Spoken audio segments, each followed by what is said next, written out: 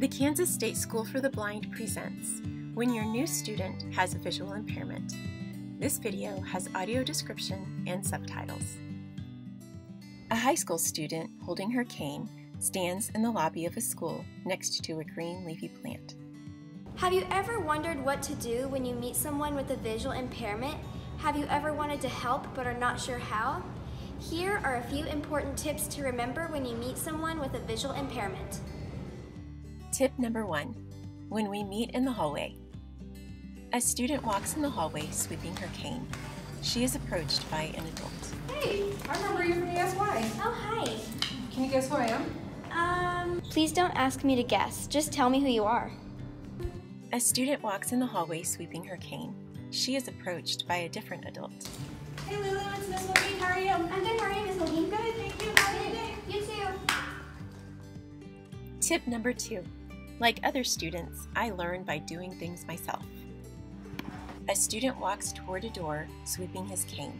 An adult rushes to the door before he gets there. Oh, here, let me get that door for you. Please don't help until I ask for help. A student walks toward a door, sweeping his cane. An adult stands by the wall and waves at him as the student opens the door and walks through. Tip number three When I walk past you in the hallway.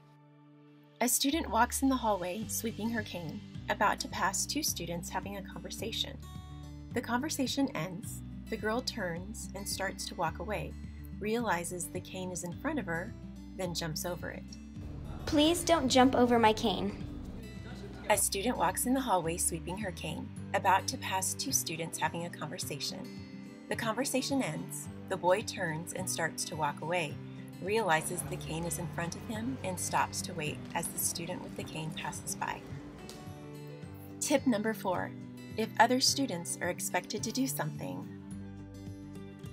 a student and a teacher sit at a table. The student gets up and walks away, leaving his chair out. The teacher gets up and pushes the chair in for him. Please have the same expectations for me as you do for other students. Tip number five anytime I'm working with an adult.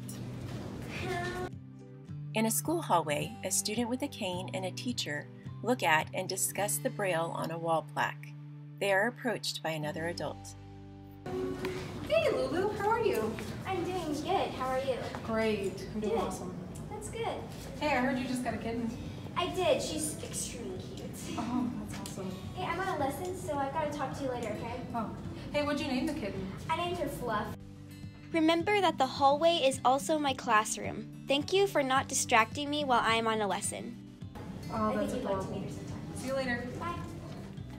In a school hallway, a student with a cane and a teacher look at and discuss the braille on a wall plaque.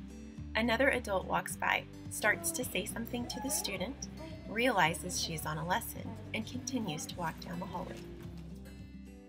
Tip number six when giving me directions. You need to grab some hand sanitizer. It's over there. A student sits at a table. She searches on the table with her hands, unable to find the hand sanitizer. Please use descriptive language when giving me directions. You need to grab some hand sanitizer. It's to your right. A student sits at a table. She reaches to the right and finds the hand sanitizer. Tip number seven My white cane gives me information about the world around me. A student holds his white folding cane. Please remember, this is a white cane, not a stick. Thank you for taking this time to watch this video. If you have further questions about students with visual impairments, please contact your local teacher of students with visual impairments or your certified orientation and mobility specialist. The logo for the Kansas State School for the Blind. Fade to black.